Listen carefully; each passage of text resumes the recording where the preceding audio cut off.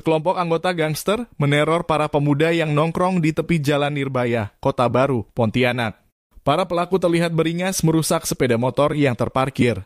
Namun mereka seketika ciut saat seorang bapak keluar hendak melawan.